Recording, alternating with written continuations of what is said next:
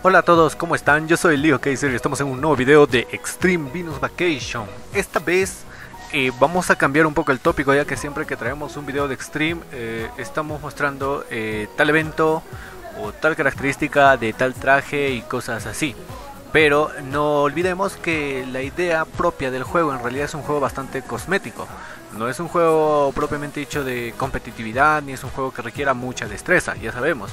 Es una estrategia básica, pues porque con cierto tipo de trajes obtenemos una ventaja sobre determinada característica y, listo. E, en eso se basa el, el juego.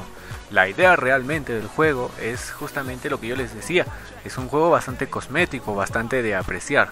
La idea es coleccionar trajes, juntar trajes, eh, poder despertarlos, ver si se rompen, no se rompen, qué partes podemos mover, qué partes podemos tocar y así, de esa manera disfrutar el juego.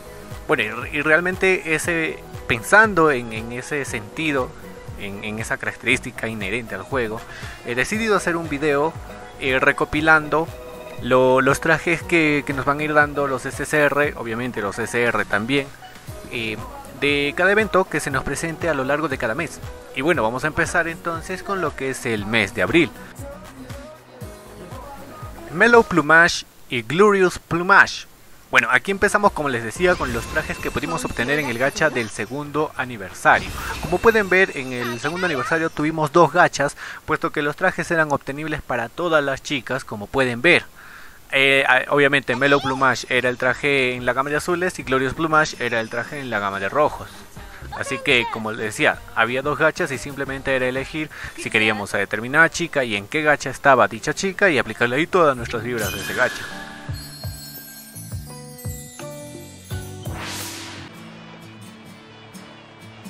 Empecemos con Mellow Plumage que lleva principalmente la gama de azules como gama cromática. Es un traje muy elegante, con muchos detalles y sí, sabemos que ya con lo que vimos en el primer aniversario, estos son trajes de colección que difícilmente vamos a poder volver a obtener. Quizás aparezcan en versiones para chicas nuevas en el futuro, pero para las chicas que hay actualmente en la versión Steam es muy difícil, por no decir imposible, que vuelva a aparecer. Es un traje que como vemos tiene una una sutileza en cada corte, unos detalles fuertes, esas mangas lo hacen bastante, bastante, bastante especial. Además que tenemos un escote que ahí nos deja ver más o menos que hubiera un, brasier negro y, vale, que tiene bastante, bastante contraste con esos detalles internos. Y la verdad que lo hace un traje muy, muy especial, muy bonito. Vamos a ver ahora sus parámetros de festival. Cuando a este traje lo tenemos despertado al rango 4 estrellas y lo tenemos en nivel 90, vemos que es un SSR orientado hacia lo que es la técnica, otorgando prácticamente 5000 puntos de técnica, 4000 puntos en poder, 3600 en estamina y un atractivo de 200. Es un traje que reduce, o bueno, nos da la posibilidad de reducir la técnica de nuestro rival y nos da un beneficio de 10%. Obviamente, al despertarlo, nos va a dar un potencial de habilidad igual, del 10%. Como vemos también trae Fibre Skill. En realidad, los trajes, tanto Mellow Plumage como Glorious Plumage, todos trajeron Fibre Skill.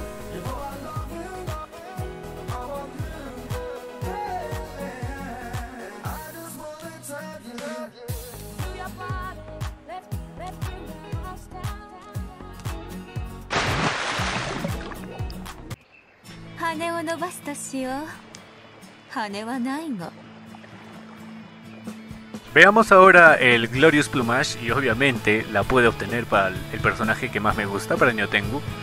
Es un traje, como ya les decía, el traje en gama de rojos que en mi opinión se ve aún más elegante, con ese tipo de mangas y los detalles en el escote, un tratado distinto también en lo que es la falda, con unos empedrados que le dan mucha sofisticación. Como ya les decía, es un traje de colección en toda regla. Observemos también el detalle tipo oro que trae en los brazaletes y cerca de los hombros, haciendo juego con el collar y el detalle que trae en el muslo derecho. La verdad que tanto este como el Melo Plumage son trajes muy sofisticados, muy únicos y claro, yo me quedo un poco más con este, pero la verdad que ambos quedan fantásticos en nuestras chicas.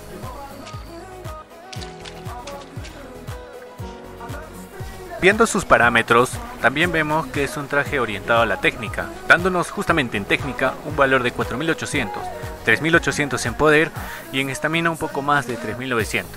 En atractivos obviamente sigue siendo 200. A diferencia del Mellow Plumage, aquí vemos que Glorious Plumage nos da un ataque extra de 35% y a la vez nos brinda otra vez el 10% tipo habilidad. Como ya sabíamos, este también cuenta con Fiber Skill. Para ir aclarándoles todos estos parámetros de festival que yo les estoy mostrando y les voy a mostrar en los trajes posteriores también, son cuando el traje está despertado al rango 4 estrellas y cuando está en el rango de nivel... No, rango no, está leveado al nivel 90. O sea, está despertado a 4 estrellas y en el nivel 90.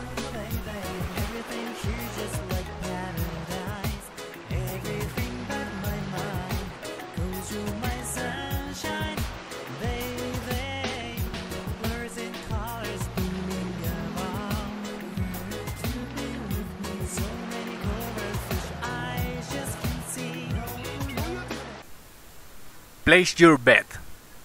Este es un traje que vino en el gacha de la segunda semana de nuestro evento de aniversario, estando disponible para Mónica y Luna. Lamentablemente, no hemos podido obtener en este canal ninguno de ambos trajes. Pero como pueden ver, sí que es un traje que todos habríamos querido obtener. Eh, obviamente respecto a sus parámetros de festival, este traje está orientado a lo que es el poder, reforzando dicho parámetro en 5000 Luego nos da 4000 en técnica, 3900 en estamina y un atractivo de 200. Un traje que no traía Fiber Skill, pero que nos reforzaba los ataques con 50% de poder y debilitaba en 45% el poder de nuestro adversario. Más que un traje parece una máquina de poder. Nos da a modo de potencial de habilidad eh, un refuerzo en poder del 11%.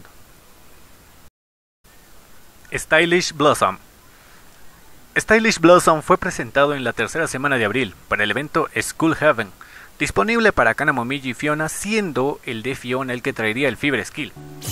Sin embargo, en este canal obtuvimos las versiones justamente para Kana y Momiji, y bueno, como pueden ver, es un traje inspirado en los atuendos escolares, además, claro, del accesorio SR que pueden ahí apreciar que es el prendedor rojo en el cabello.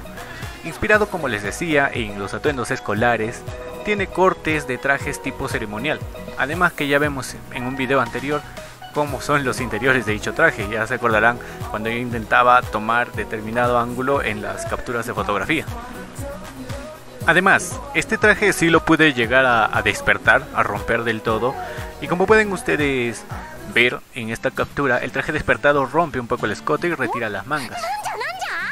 Respecto a sus parámetros de festival, al ser un evento de ranking, estos trajes vinieron en modo atractivo, en modo appeal dándonos un APL bueno, atractivo de 550, además de 4500 en técnica, 3700 en poder y 4200 en estamina. Un traje curioso que nos da al atacar 50% de técnica y nos da la posibilidad de hacer subir el Tension Gauge en 45%. El potencial de habilidad que nos bonifica es un atractivo en 11%.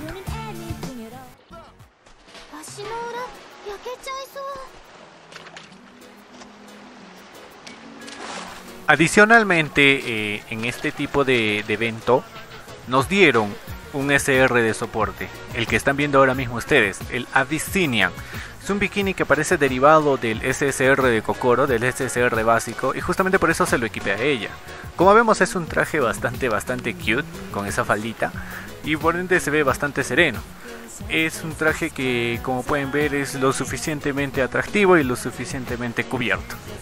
Nada nuevo. Respecto a sus parámetros de festival, vemos que es un SR obviamente también orientado a lo que es el atractivo, dándonos 350 de atractivo, 2200 de poder, 2800 de técnica y 2300 de estamina. Como habilidad propia del traje, la única que tiene obviamente es un SR, eh, nos da la posibilidad de incrementar el tension gauge en 40%.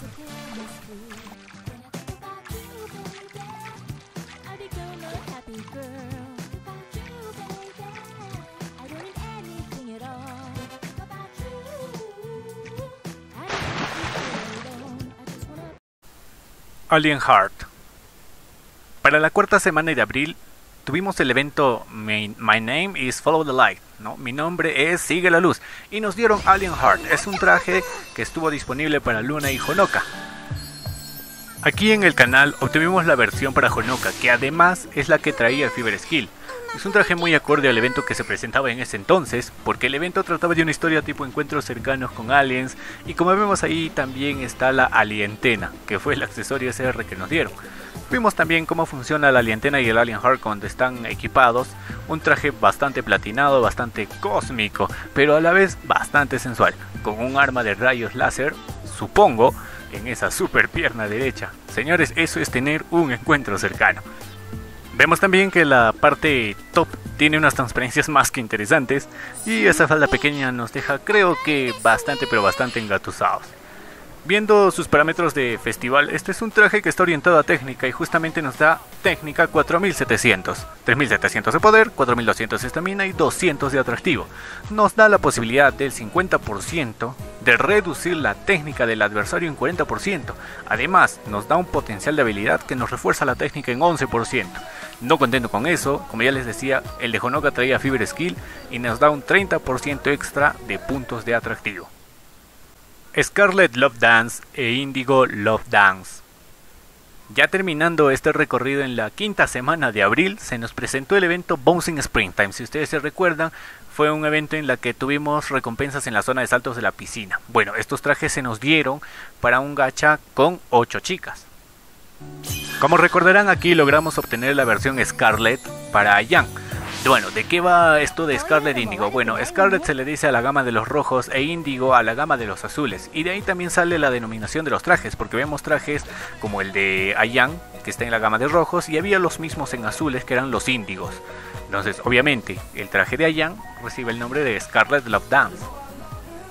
Como vemos, es un traje que de primer impacto nos muestra escamas en la zona de muslos y en la zona del busto, con unos colores tipo coral bastante bastante balanceados, pero también una especie de falda media cortada hacia atrás.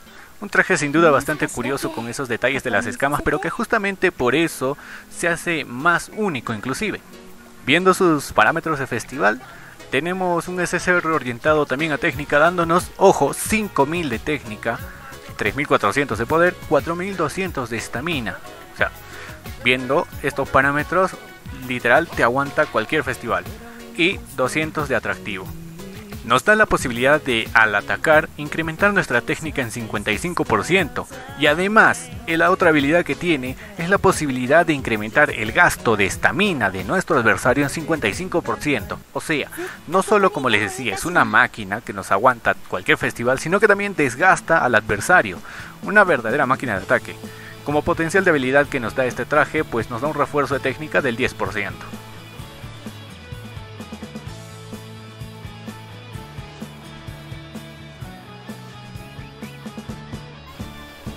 Y hasta aquí sería chicos el viaje viendo los SSRs que pudimos obtener en el mes de abril. La verdad que una colección bastante bastante interesante. Así que no se olviden suscribirse, dar a like, apoyar el video, comenten cuál ha sido el traje que más les ha gustado a ustedes, cuál es el personaje que también les gusta más a ustedes, me gustaría saber. Yo me despido aquí, les envío un super saludo y nos vemos en un próximo video.